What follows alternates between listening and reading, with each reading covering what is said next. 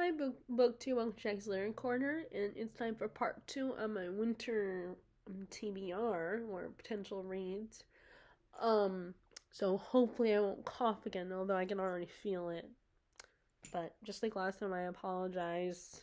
I just started getting sick again, but I want to make you guys another video. So, um, now we're on to the other pile.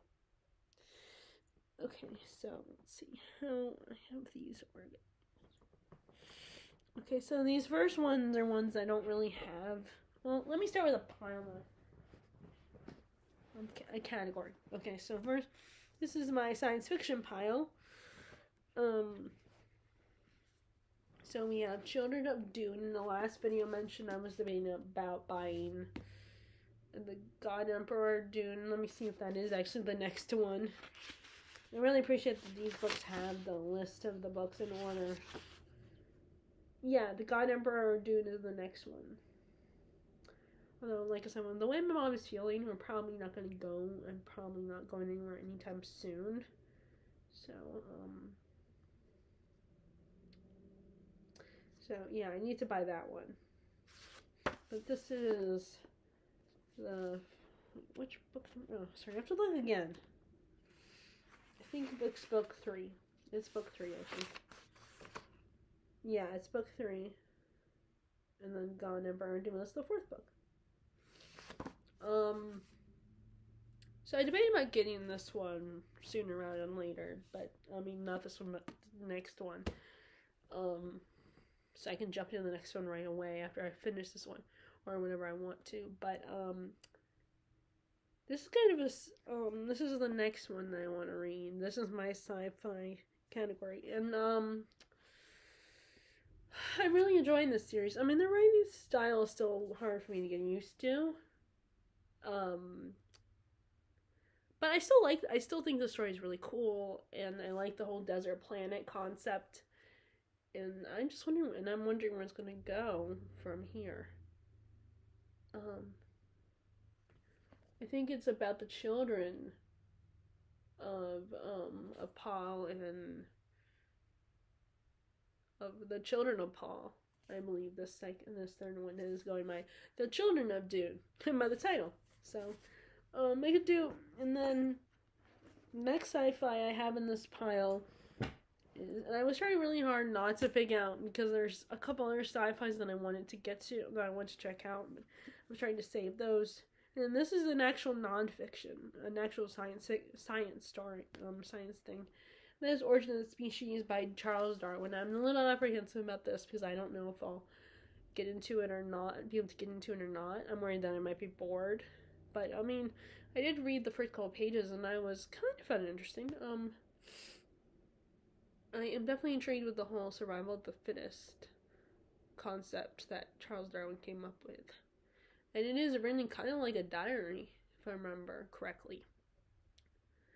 Um, I've always Darwin is someone I've always heard a lot about. I mean, and even in one of those cartoons that was the British cartoon or claymation, I should say. It's kind of like Mom. Wallace and Gromit style type cartoon. That was how it was, where you have this guy going on an adventure and he runs into Charles Darwin, who accompanies him. Um, and I think it was right before the right before he goes on his right before he writes his book or goes on the journey on the beagle i think. Um in the animated fe- in the in the feature. And he's actually voiced by david tennant. But um you know so i thought i decided to go ahead and i saw this at the roast office and thought why don't i check it out? Why don't i you know but I, am just I'm not bringing I'm definitely nervous. I'm definitely concerned because I'm still kind of easing my way into sci-fi. Um, and then I have I put the I feel like the apocalypse type stories are very sci sci-fi. Um, so we have this would take me forever to read, but this is the Stand by Stephen King, and I already started reading this when I had the mass market copy of it, but like you know, I've said a million times before, I've been switching out my mass markets for regular size paperbacks. Um, and this is kind of an apocalypse story. Like half the planet is wiped out by a virus, and you know people going to this woman. Her name's Abigail, I think. Um, Mother Abigail. She is this woman, 108 year old woman who can heal people. But then um, you have half the other population, the other half of the remaining population going to Randall Flagg, who is a um, he delights in chaos and violence. and I mean, it actually doesn't. It does not say that on here. That was me actually. It actually says in Randall Flagg, the, nefar- the nefarious dark man who delights in chaos and violence. Well, okay, the delights in chaos and violence I did not come up with. It says that that does stand on here. And it's kind of a good versus evil dynamic.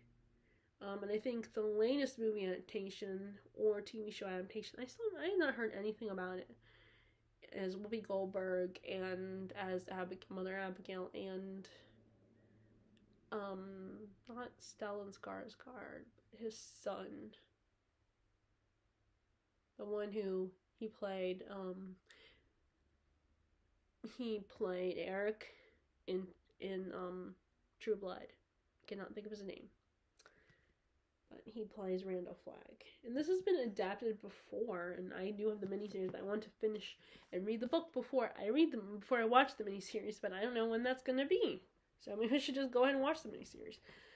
Um, although I really think you should try to save that for like if it's a um if it's like an older book, then maybe yeah you can do the well. You know what? Actually, people can do whatever they want, but I like to try to save adaptations for after I've read the book. Like especially now, the last few years. Um, but I think with the when I think with exception of older class, you know, classic older books, I think with older books it's okay to watch the adaptation for, to watch the adaptation first before you read the book because it can kind of help you understand what's going on in the story. So, um, and then the last sci-fi for the sci-fi pile I have is Children of Time. Um, and this is, I believe, the first book either in a trilogy or a series where um, you have these humans send out this um,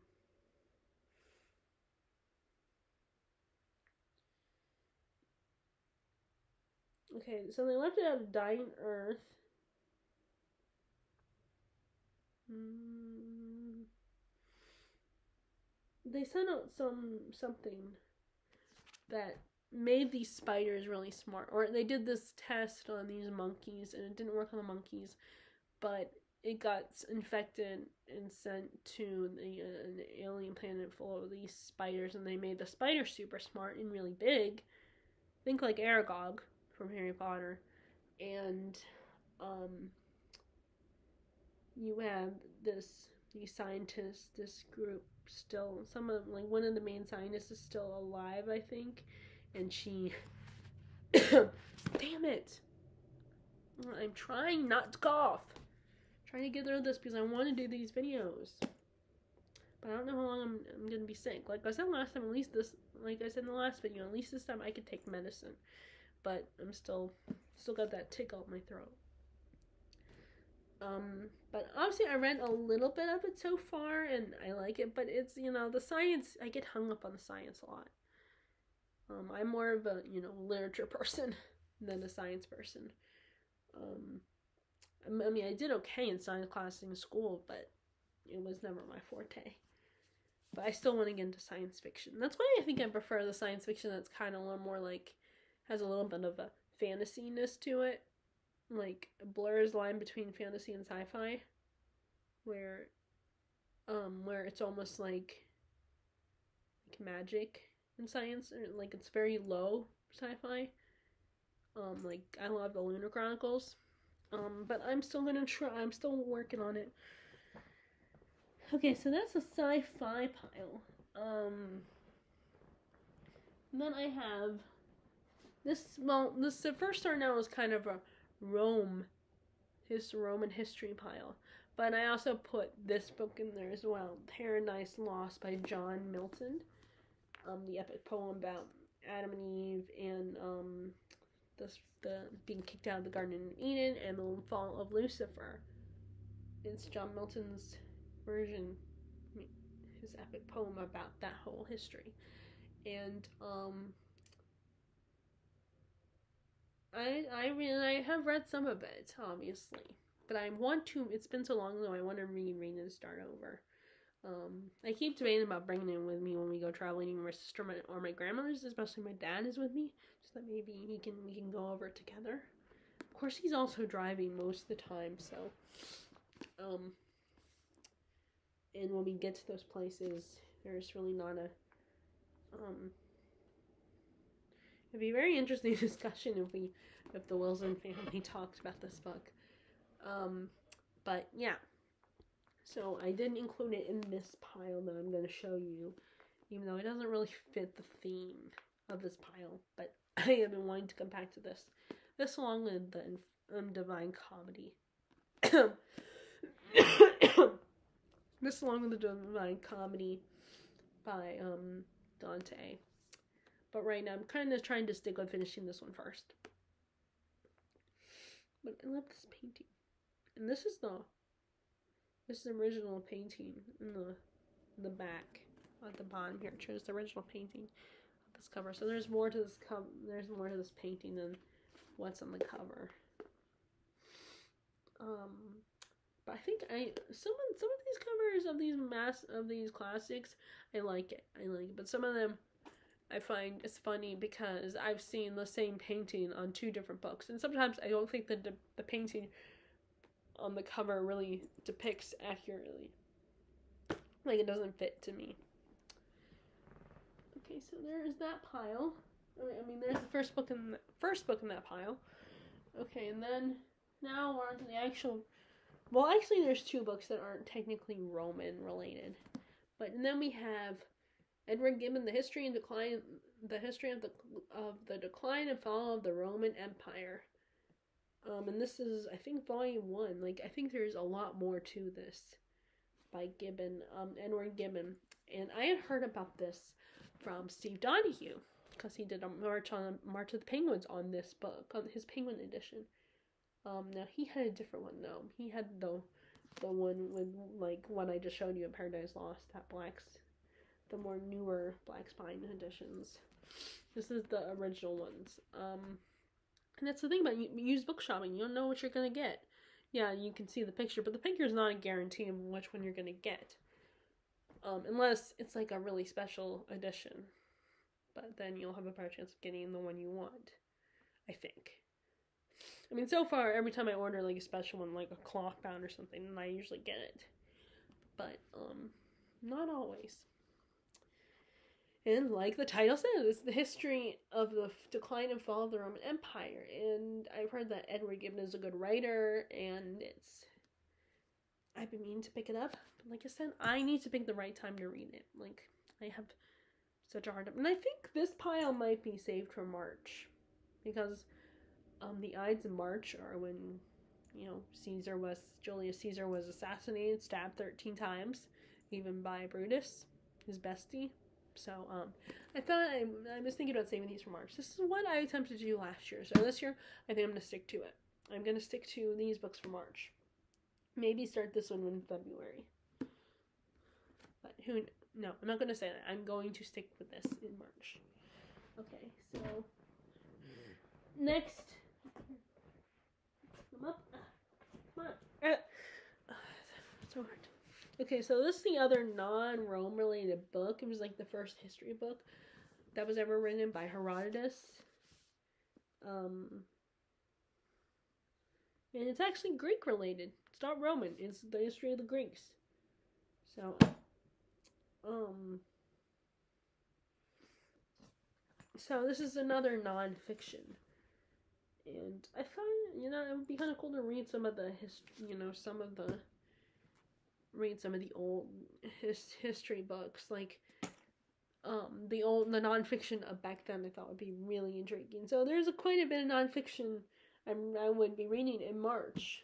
Um, because one day I'm hoping that I will be able to read nonfiction November book for nonfiction. I keep playing on it and it never happens. I'll start and be inspired, but then I totally fail it. I meant to read, continue on to the Walt Disney biography that I have, but then it never happened. So, I mean, I did start reading the Walt Disney biography again, but then I put it down way too long. So, but I think this is cool that they have the first history book that was ever written. Um, I thought that was that's such a cool thing, you know. Um, and then we have. So this is the actual this is the actual fiction in Rome related, and this is about Julius Caesar. Um, and this is we start the first one, the gates of Rome when He Caesar and Brutus were Julius Caesar and Brutus were young boys under different names. And then like I think Julius was like a middle name or something. Um and then how they ended up in Rome and the position that they're in. And this is like um so I'm just gonna read. This is the Death of Kings, the second book in the series. There's four books. So let me just read the back. Forced to flee Rome, Julius Caesar is serving in a war galley in the dangerous waters of the Mediterranean, rapidly gaining a fearsome reputation. But no sooner has he had a memorable victory than his ship is captured by pirates. Abandoned in Africa, after hard months of captivity, he begins to gather a group of recruits that he will eventually forge into a unit powerful enough to gain vengeance on his captors and to repress a new uprising in Greece. Returning to Rome as a hero and as an increasingly dangerous problem for his enemies, Caesar is reunited with his boyhood companion Brutus. But soon the friends are called upon to fight they have never thought before. When a new crisis threatens to overwhelm the city in the form of a rebellious gladiator named Spartacus. And I actually have some Spartacus books, fiction. Um, and I did read a book that was um a fiction live version of a female Spartacus. Cannot remember what it's called, but I keep seeing keep seeing it at the roast office and think about picking it up again because I did like it, but did I love it? So okay, so maybe that one might be in March TBR not the sci-fi. I don't know what I'll do with the sci-fi. Here's like I said, I have so many options. I I pick so many options for myself that I have to narrow it down, and I have a hard time doing that. Um. Okay, so let me see. What was I? I don't. The rest of these categories, I don't know what I was thinking. I just kind of put them together. Um. Let's start with these. I do not like I said, I don't know what I was thinking when I put these together. Um I guess academics maybe. I was thinking academia or something. Not dark academia, just academia. Okay, so first I knew I had to read this at some point because it was gonna drive me crazy because I would keep hearing about this book. And the second one just came out. Um The Atlas Six by Olivie Blake. Um so this is basically the idea of the Alexandria Library. What if that didn't burn down and there's a secret society? So um you have these group of people who are summoned and only I think 6 can make it and someone's to die. So um they are in this big like competition this big competition or something. Um let me all just read the back because I'm just terrible in describing. Each decade, only the six most uniquely talented music, music, music, ah, magicians, cannot say that word, are selected to earn a place in Alexandrian society, the foremost secret society in the world. The chosen will secure a life of power and prestige beyond the wildest dreams. But at what cost? Each of the six newest recruits has their reasons for accepting the society's elusive invitation, even if it means growing closer than they could have imagined to their most dangerous enemies. A risky, unforgivable betrayal from their most trusted allies. They will fight tooth and nail for the right to join the ranks of Alexandrians, even if it means they won't all survive the year. I remember being very, like everybody else, I was very excited when I heard about this. Um, and I wanted to wait until it came out on paperback to get it because it looks like a chunky book. So, um, that's the beauty of waiting, though, waiting for a book to come out because then maybe if it is the first book in a series, then the sequel might it might give a chance for the sequel to come out and eventually come out on paperback. Um, so I am I've been excited for this like everybody else. I just haven't picked it up yet. Um,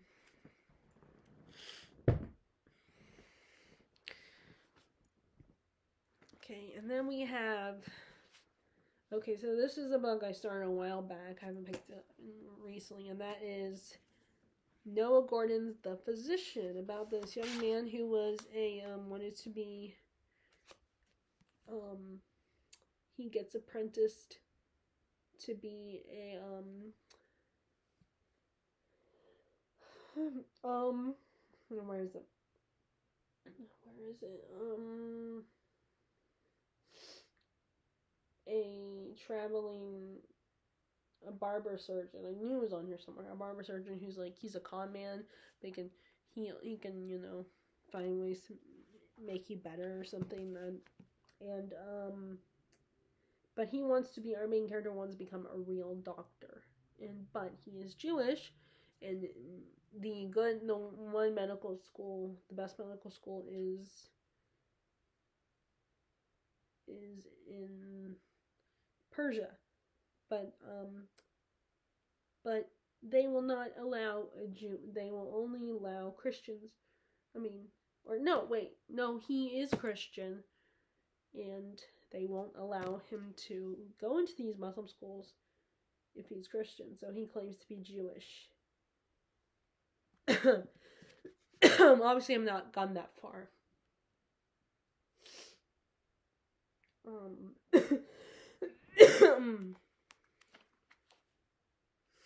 but I really liked it so far. I'm having a good time with it. I found it really fun. I like our main character.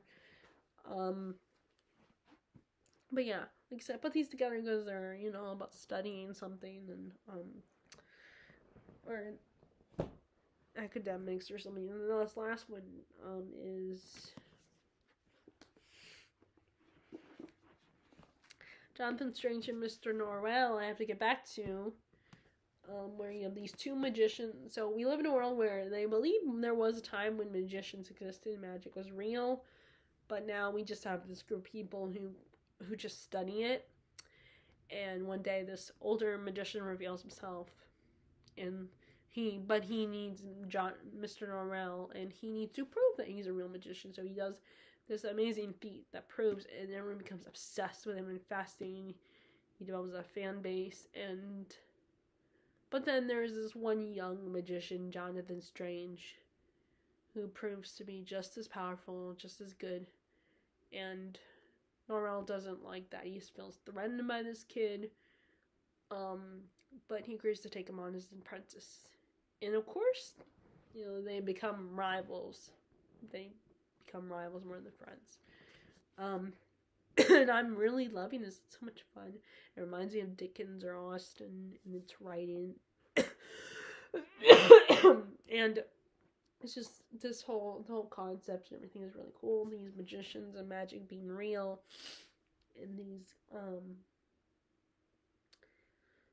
and these characters I have such a I love the characters of Jonathan Strange and Mr. Norrell. On one hand, they annoy me, and I want I get pissed off by them. But on the other hand, I just love them. They were so much fun, and um, in their arrogance and um, cockiness. But yeah, it's so it's such a great read. Um, like I said, it reminds me of a Dickens or a Jane Austen novel in its writing. Um, yeah, and I, this is a good. This is such, this is great. I love this. Um, and I need to continue with it. Okay, so let's see. What other piles do I have? Okay, and then we have. So I was thinking about February and trying to pick some shorter books, but I also threw some longer books in there. So, um, first I want to kind of go an anti-love or anti-Valentine's Day theme here, um, with the exception of a few of them, but a couple of them, maybe, maybe one, I don't know. Um, so first, well, well, okay, actually, no, because this next one is romance. That one's romance, but um, first I started as anti-romance. The Haunting of Hill House by Shirley Jackson. I've been wanting to reread this, and it's not a super long book. Um, I've been wanting to reread it. Um, give it another shot. About a haunted house, basically. This is about a haunted house, and um, it inspired a movie and a TV show. I think, well, I think there were two movies.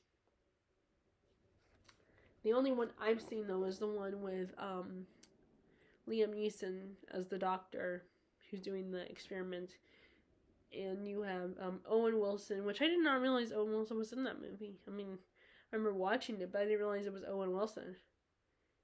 And um, Catherine Zeta-Jones, and I know the woman who plays the main the main character, but I cannot think of her name. I've seen her quite a few times. She was in Mystic Pizza with Julia Roberts.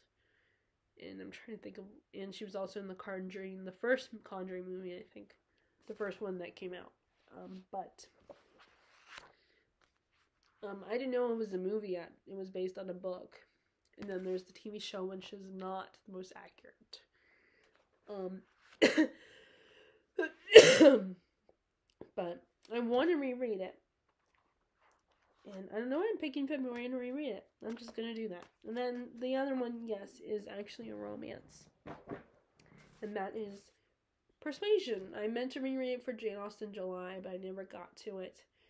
And um this is the second chance romance. You have our main girl Anne Elliot and um when she was a young woman she got she was in love with a sailor and he was gonna he proposed her and everything, but she was convinced by her godmother to turn him down because he wasn't good enough for her. And so he leaves, he walks away hurt and heartbroken. And he comes back into her life many years later. She's still unmarried. She has one sister that is married. Her like her older sister is married with kids. And she's an, a younger sister. And um the guy comes back into her life and now he's a captain and he's rich and but he has another woman that's in, interested in him that someone's trying that he's being set up with and it's just really uncomfortable and awkward for Anne Elliot and there was a bad a really bad adaptation that came out recently earlier this year um that people are not happy with because it's terrible now i have not watched it and i've yes i've read this book twice but I feel like I don't know enough to crit- critique. Um, even if like if I agree, I feel like if I say, "Oh, you're right," it's only because I'm thinking about what other people say and everything, and just agreeing with them. But um.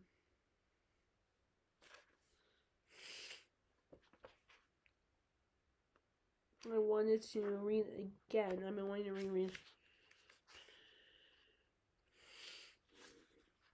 for the third time because it's kind of growing on me as a book. But I thought this would be um, good for February. And then um, here's the other romance. Have Child of Prophecy. Um, it's not, I mean, it's a fantasy, but with a romance.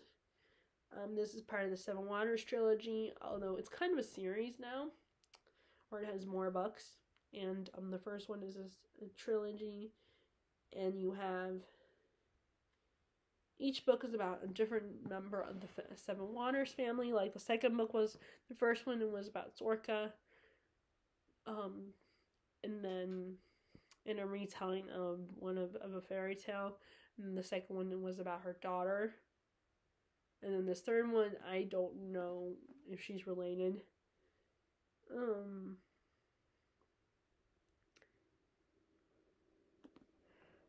but yeah, I really like the writing and I like the world of the Seven Waters clan. Um, and usually, so far, the first two books have had romance, so I don't know if this is going to have a romance or I'm going by from what I remember reading in the back. I think there is going to be a romance in this. But, um, Now I have heard that the books don't. There are some people feeling the books don't get great. You know, they go bad later. Um, but I'm gonna see. And a lot of times I feel differently. Like if I'm still really, really interested in something, I'm gonna give it another shot. I mean, even if I heard negative thoughts about it. But anyway, so there's that. Um, I mean, the problem with February is it's leap year. It's 29 days, so that's the risk of a um being in February. And then we have so I thought because these are a collection of shorts um shorter works um and plays and stuff, I thought I would include um the collected works of Oscar Wilde. So I won't read all of them, but I read some of them. Um and this says that the collected works of Oscar Wilde. So some of his plays, um, his shorts, his novellas, Okay, so we have as far as fiction, which I did start reading this first one. Um, Portrait of W.H. Mr. W.H. The Lord Savile, Savile's Crime, the modern, the model millionaire, the Canterville Ghost, which I've heard a lot about. Um, I don't know exactly what it's about. Like I couldn't tell you. Um, the Young King, The Birth of Infantata, The Fisherman and His Soul, The Remarkable Rocket. And poems and prose, the artist, the disciple, the master, of the house of judgment, the teacher of wisdom. Um, and then we have poems and lectures. Um, lectures on journal on America, lectures on art, on literature, essays,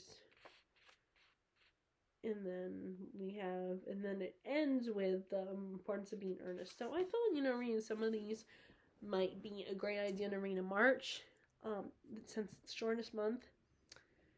Um like here's the problem. The other reason why i have trouble narrowing down is sometimes i feel like oh if i put a book back on the shelf especially if it's a series i worry i'm to forget about it. Therein lies the problem but i really should be doing that. Okay and then Here's I'm gonna pick two more books. Okay, so then we have um we have four more books that I'm thinking about for March. I mean for February. Which I really shouldn't do that. I should just focus on the quarters because that's what I wanted to try to do. Is but I will um on quarterly team TBRs. But I will come back to that minute. What in a little um, or not in a minute, but I'll come back to the later towards the end of the month. Um so we have the Distant Hours by Kate Morton. Um, I figured, I mean, this is about like this young woman who discovers that her mother during the World War II had hidden in this, stay with these two women, these three sisters, in in their um their castle. So it kind of has a gothic feel to it and I I'm and as always I love Cameron's books and I've been meaning to reread all of them and originally I tend to read all of them before I read um the Clockmaker's Daughter but I never did so I read the Clockmaker's Daughter. So now I'm gonna I want to pick these up this one up in February. Um because I think it'll be because I'm not big on like I don't read a lot of romance so I don't and it's still winter time at the time of that. So, okay, so then we have Son of a Witch. Every time I say that title, I think, you know, people are going to think I'm saying son of a, you know, the that other word. B I T C H. Um, so this is the second volume two in the Wicked Years. This is about this the young man who Liir who is supposedly Elphaba's son, and his and his, his you know his adventures and whatnot. And I love these covers. I love them that. I like how the paperbacks will still do that, not just the hardbacks. Um, and I, you know, Lisa, I remembered reading the first three books, but I barely remember what happens in them. So I thought, you know, rereading them would be a good idea. So you guys know back in October I reread Wicked. Um, and I think I can get into it more and appreciate it more because of the fact that um I'm a little more mature and more well round more well read or more rounded in my reading. So I can appreciate it more. Um and I've read longer books. So yeah. So this is this should be an interesting read.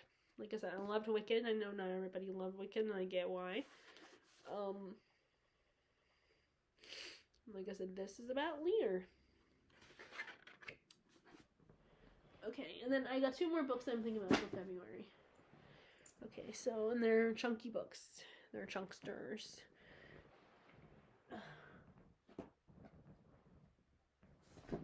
Okay, I also got to worry about Tome Topple. I have Tome Topple coming up in December. She decided to do it starting tomorrow. Um, so then we have Bag of Bones. So this one kind of has a bit of a love story in it. Like this writer's wife died in a freak accident, and I think she got hit by a car. And he is struggling to get back into writing. And he finally goes to the lake house where his wife, where him and his wife lived, where where his him and his wife go every summer to kind of escape, and he runs into this little girl. Lucky that her mom is single, doesn't have anyone, and the little girl's kind of wandering off by herself because she wants to go to the beach or something, and he saves her. And um, that's the last thing I I read, but I think he's going to be haunted by his dead wife, I believe. And there's going to be some secrets that he didn't know about her. If I'm remembering correctly. So, um. And he's just, Stephen King is so great with creating characters that are relatable and believable. His books are so compelling. I know there's a lot of things some people have issues with with his writing and his. Sorry. Um. I'm just trying really hard not to cough here. Um,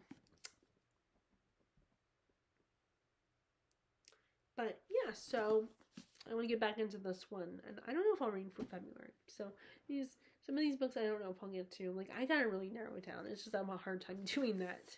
So then we have um that one, and the last one I'm thinking about is um let's see if I can reach it without or uh, for February.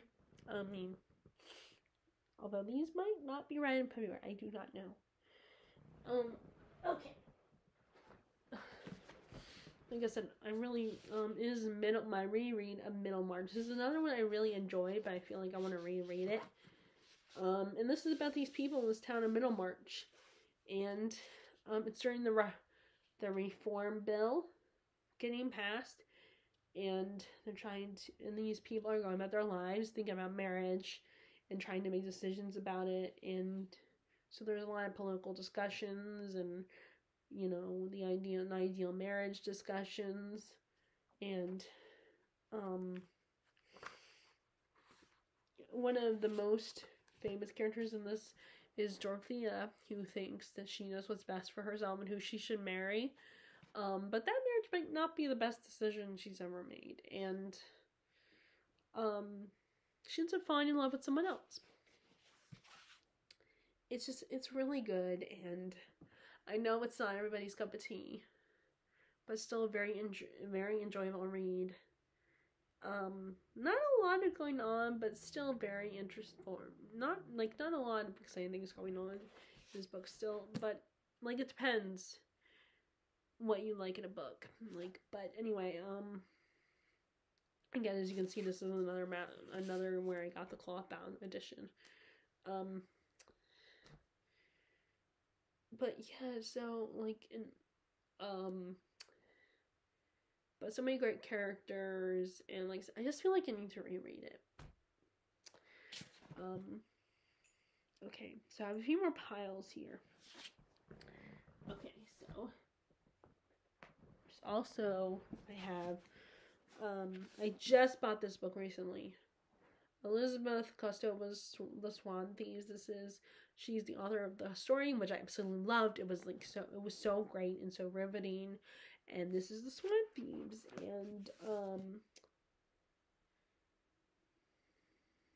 okay, um, Okay, so this richly told, beautifully imagined novel takes a journey, us on a journey into the lives of the women left behind by the renowned painter Robert Oliver. After attacking a canvas in the National Gallery of Art, Oliver maintains a stubborn silence, prompting his psychiatrist Andrew Marlowe to embark on an unconventional pursuit of the answers his patient won't provide. As Marlowe is pulled deeper into within Oliver's troubled mind, he uncovers a tale of love, betrayal, and artistic obsession, and finds surprising possibilities in a package of 19th century love letters. Does the key to unlocking Robert Oliver's mystery lie in, the, in a tragedy at the heart of the French Impressionism? Across centuries and continents, from young love to last love, Elizabeth Kostova deftly explores the painter's universe.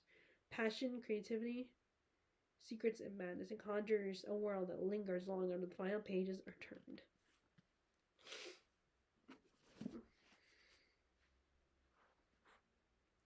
But yeah, I really liked her first book, so I feel like I'm gonna like this one too. And I'm I'm a big fan of stories that go back and forth between the present and the past. I love those stories because I love the able to uncover the past and what happened. Um, and that's I think part of why I love Kate Morton too. She's the same way. She goes back and forth between the past and the present. So um, yeah. So I want. So I don't know when I'm gonna read this one, and then also I need to get to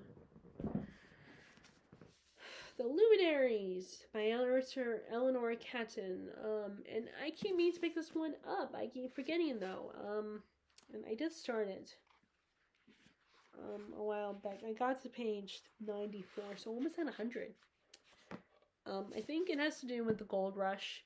And I don't know if it's fan. I still don't know if it's a fantasy. It might be just historical fiction. But I thought there were some fantasy elements to it, or maybe a magical realism. I do not know. But um, I loved the writing. I remember really enjoying it when I got it from the library. Um, and I wanted to buy in a copy of it so I could finish it and continue with the story. But um, it took me forever to. It took me a while to buy it. But I just haven't picked it up. I need to pick it up and continue. Like I said, I really need to narrow these down. Okay, and then you have Okay, so Fire and Blood. So I've been waiting. I want to pick these up within before the new season of House of the Dragon starts. But this is the history of the like a textbook kind of history of the dragon, the House of the Dragon family, darn to the Targaryens. So it's written kind of like a textbook. And then apparently I've heard from a lot of people that the show is that this book is based off based on or or the show that was the show itself, House the Dragon, that it's like the real story of what happened while this is someone's account, someone's thinking what happened, interpreting it, which I think is a really cool idea on George R. R. Martin's part. Um, then he writes it like a textbook where he interprets it, what happened, and then he, the show is about what really happened. Especially because like people don't see who these people really are behind closed doors. They don't know their emotions, their feelings. They're just going by what they see because a lot of these the they will put on a performance and show you what you they want you to see. So it kind of makes sense that maybe the author of this of this book on the history of the Targaryens would interpret things a certain way. Well, that's not what really happened. I think this is a really cool concept, and I want to get to it as soon as um, before the new show starts. So, um, but I love how it has pictures in it. Let me see. Let me take off the dust jacket. Nope. I hate when there's a naked hardback. Um, that's why I always keep dust jackets on because most hardbacks are naked. But um, I like when there's a picture on the hardback part. But anyway, so there's this one. Um,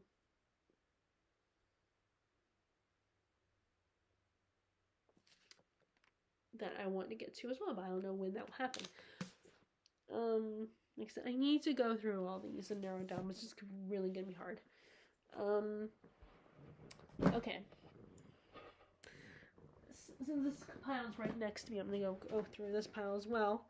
So, um, this was a book that um, Wendy, my sister's roommate, we call her Wings, had sent me. She sent it with Jesse when they um to give to me. And this is the personal librarian. So I I think I don't know when she got this book, but um I remember I kept seeing this at Books a Million and stuff and thinking about it. Um but I wasn't sure yet. And I think this is a one who a, a woman who is mixed mixed race and she could pass off as a white. Um let me see.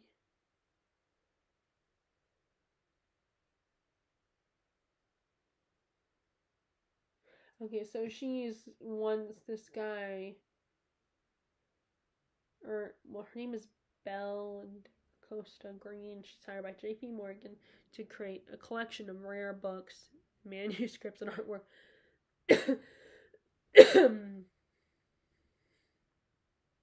and she becomes very famous. But she must protect the secret that she's half black. Oh, um, Yeah, because she's part Portuguese, and that kind of helps her pass as white. Um.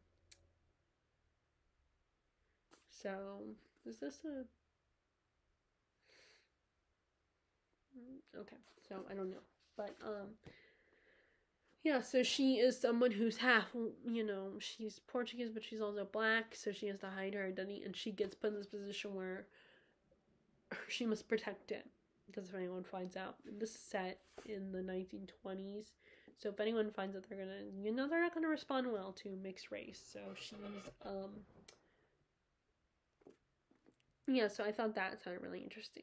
Um, I don't know if there's a romance. Sometimes they have historical fiction have romance. Sometimes it doesn't.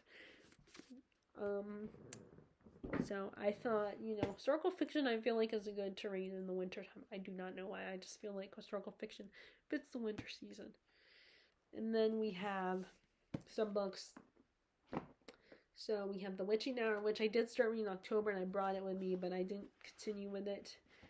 But this is about the Mayfair witches, and they have a devil on their shoulder. This man in the shadows that follows them around and infects them and makes them do things and um, their latest the latest heir is living in California Rowan she is a doctor a surgeon in California and she crosses paths with this young man named Michael this Irish boy and he has a near death experience when he falls into the San Francisco Bay I'm assuming and she saves him his life.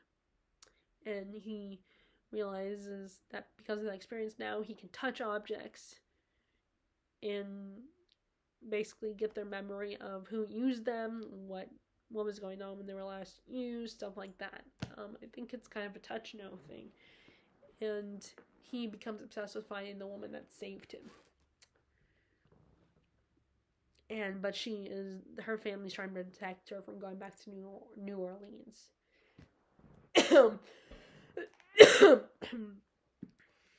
it's a three it's a trilogy and this is the first book and i do have the second book and then there's a third book um, that i'm gonna get soon. But um but i really love anne rice's writing um she writes very dark stories. She also writes like interview with a vampire the vampire lestat and all that. She writes all those books. Um so as you can see it's a super long book so i don't know and then last but not, well, not last because I have two other piles.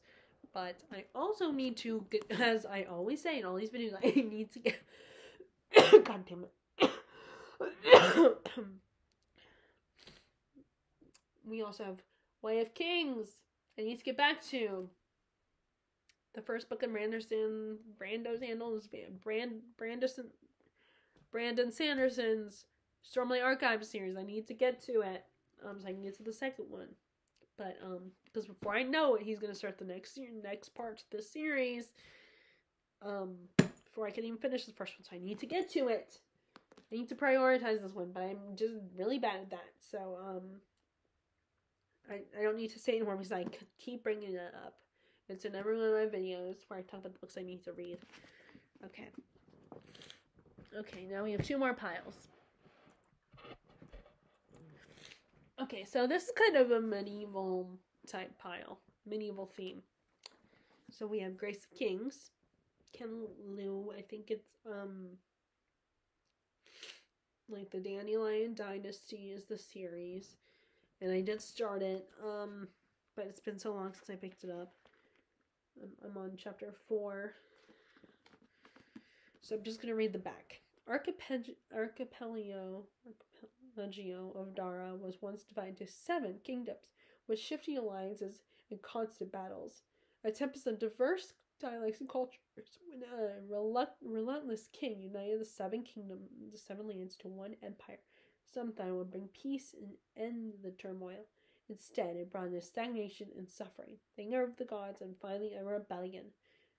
Kuni Garu is a wily bandit who is more concerned about being well liked than with the affairs of the empire until he meets the ma- his match, Jia. This free spirited daughter of a well regarded family sees greatness within Kuni. Driven by Jia's love and touched by the grace of the common people, Kuni sets out on an unlikely path to heroism and perhaps a daring wager against the gods. Mata Zyndu, last, the last scion of a family of renowned generals, is favored by the gods, standing seven and a half feet tall, broad shoulders and double broad shouldered and double peopled. Mata looks like a hero out of ancient legends, determined to reclaim his stolen heritage. Mata catches wind of a revolution and begins a journey to become the greatest warrior of his age. Kuni and Mata become fast friends, and they wage separate wars against vast conscripted armies and silk draped airships in order to wrest Dara from cruelty.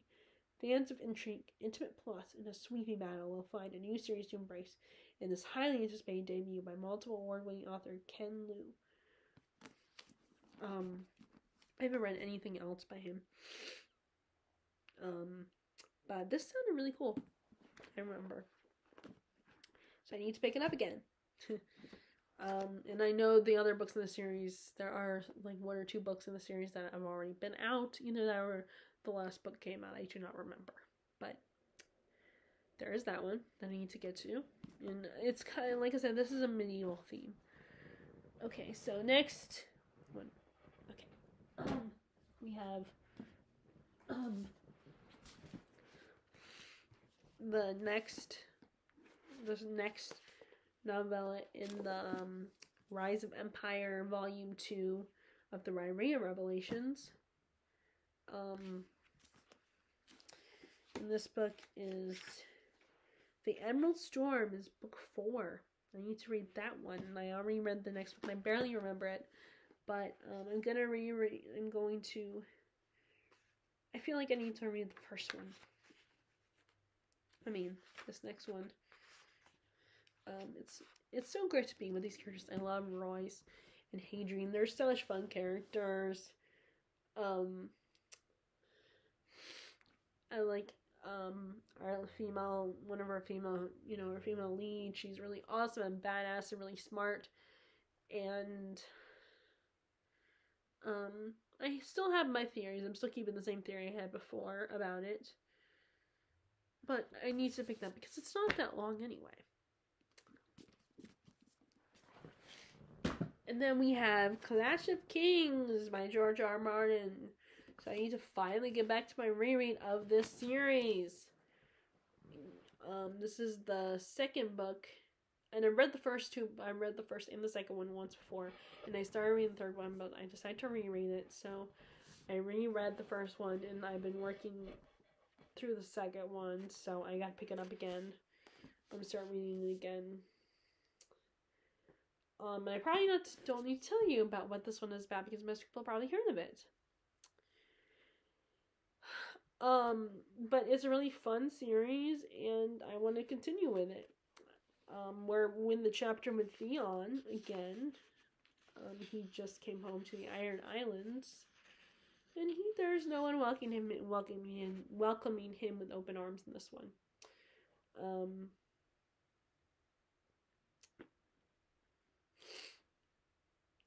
and he does have a bit of an awkward, uncomfortable encounter with his sister. I remember. Um, so I need to pick this one up again. Start over with this, and then we have, not start over, but pick it up again. Okay, and then we have.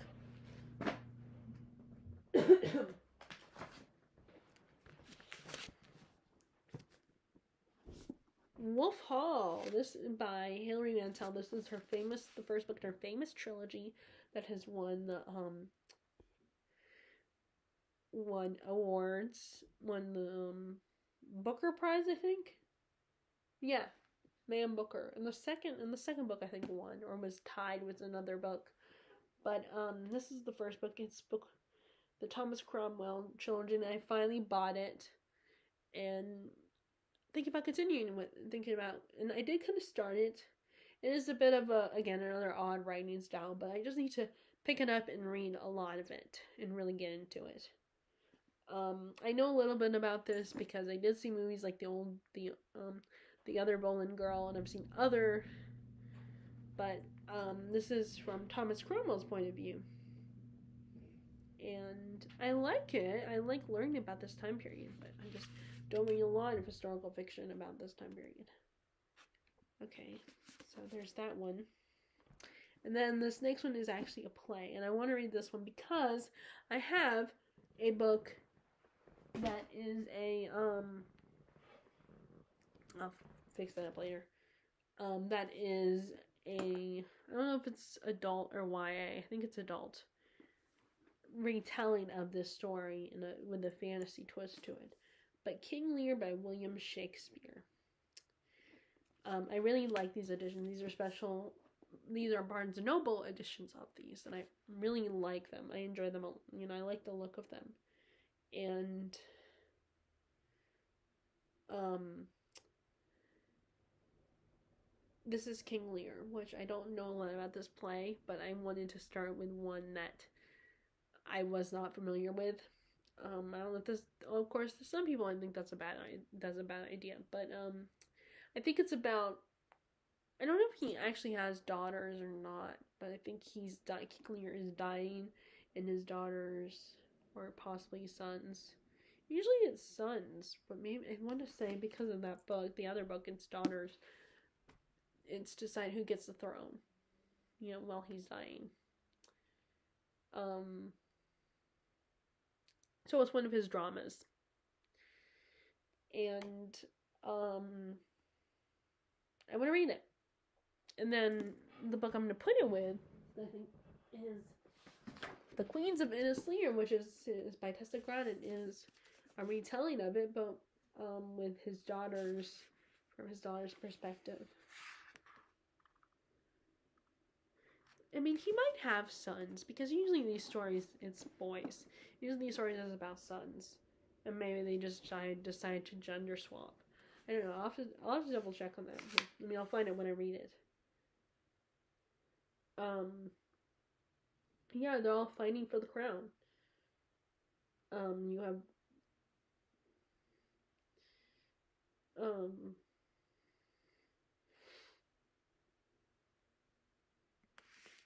and I thought it would be great to pair these together, read the original source material and then read this retelling of it. I thought it'd be great to pair these two together. Um, okay, I've got one more pile to go, then I am officially done. And then I need to go through these again and try to narrow it down again. Um, okay. So we have this one um, this is kind of a creepy section, creepy books. So we have um Black Mouth by Ronald Malfi. this kind of makes you think of it a little bit more like Salem's Lot, where this man is looking back on his childhood and he has to go back to his old childhood town and um, find out what remind himself of what happened when they were kids. him, his brother, and their friends. And um, that's all I know. And I have read a little bit of it. See, that's I always make that same mistake where I'll start it and then I'll be like, I'll come back to it later, and then it takes me forever to come back. Um, the good news is I don't read that far into it. Um,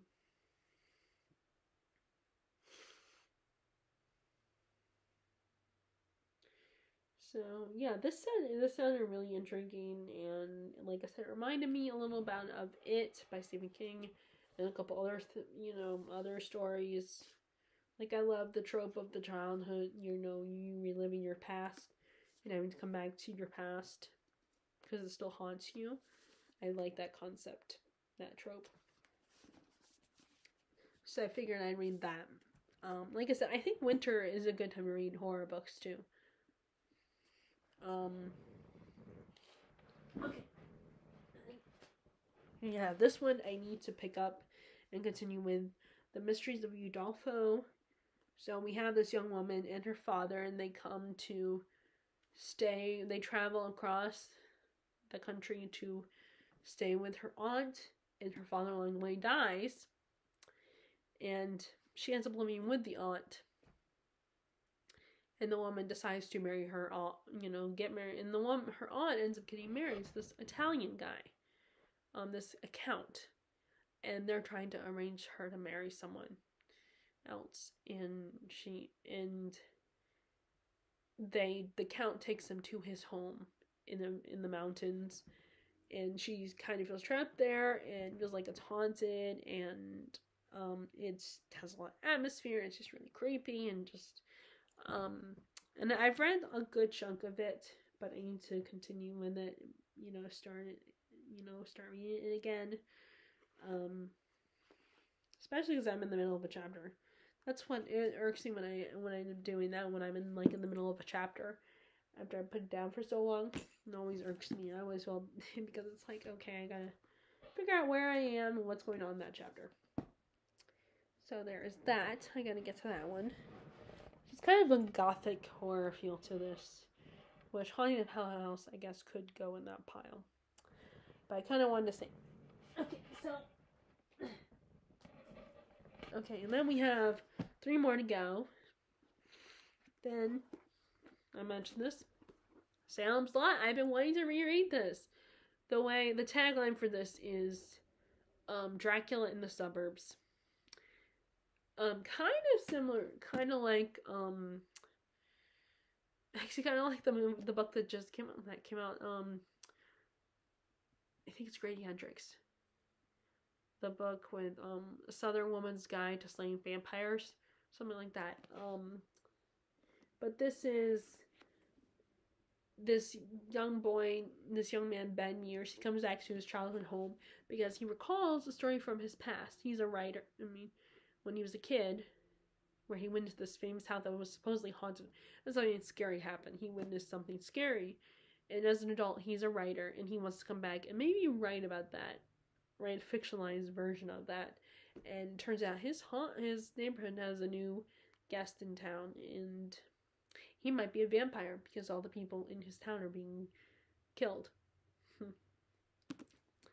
um and I've been wanting to reread it, but there is one part in particular that always stays with me, and I mentioned this before. Again, the part with the priest always stays with me. It, it's just very disturbing. Um,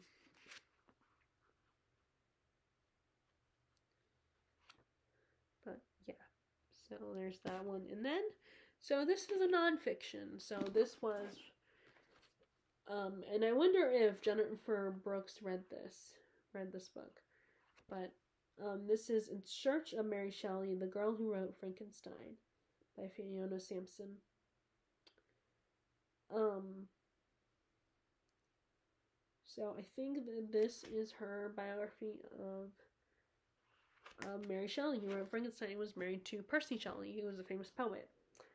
And um, now she's mostly known for Frankenstein, but she's written she wrote other books as well, and I think she wrote poetry too.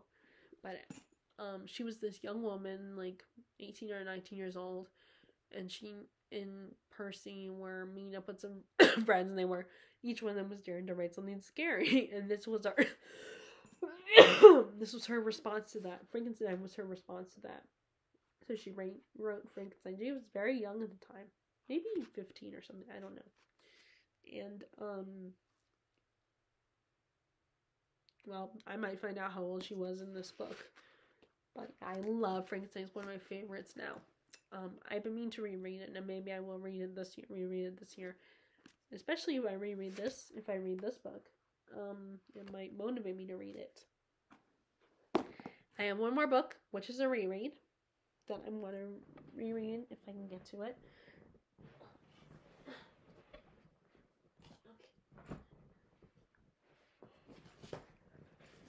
And that is it.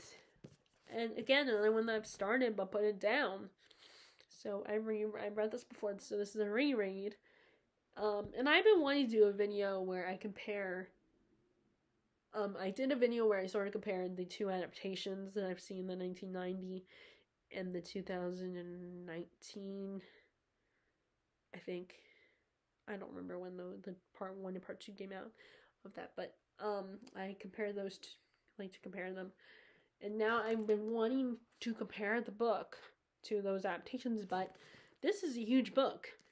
And it took me over a year, maybe longer to re- read the first time. So, um, I mean, the writing is not that hard, it's just long. So, I've been thinking about that a lot how it's not that these books are hard to read, it's just they are so long and, you know, and sometimes they have slow parts. So, it's like, even though it's not hard to read, the writing style's not that hard. It's still like it can still take me a long time because of the length and because like I said, there are parts that might seem boring. Um and that's why it takes me forever. But um yes, I want to reread this in case you don't know, which most people probably do. This is like this group of kids of seven friends. Their their hometown of Derry Maine is haunted by this alien type monster takes the form of whatever you are afraid of.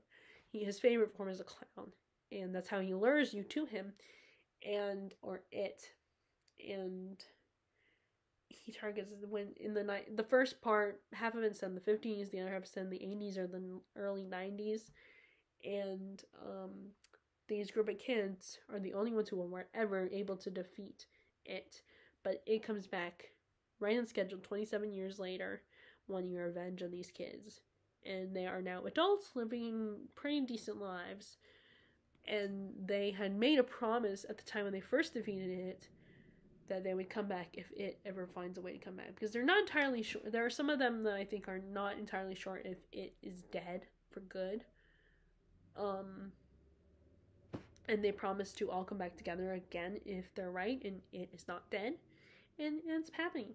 Like, and Mike, the one who stayed behind, is the one who summons them all back. And the funny thing is though, when they when you leave Derry, your memory is practically erased. You don't remember. There's like a fog over your brain from your you know, of that time that you were that you're in Derry.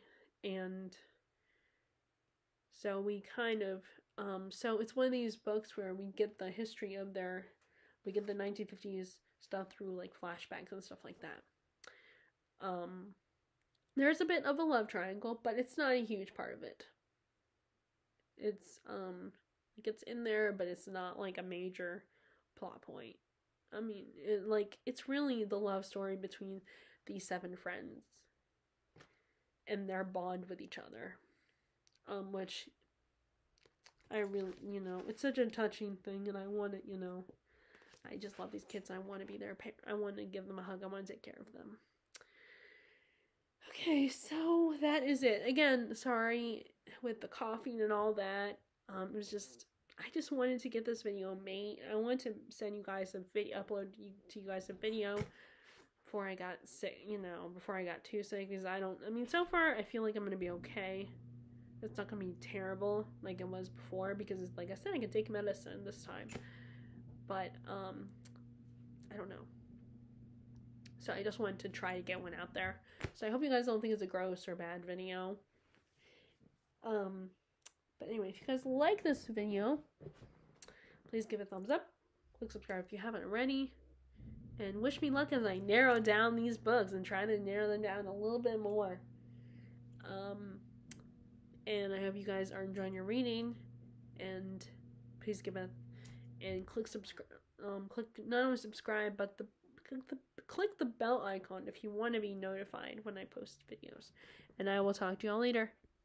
All right, bye.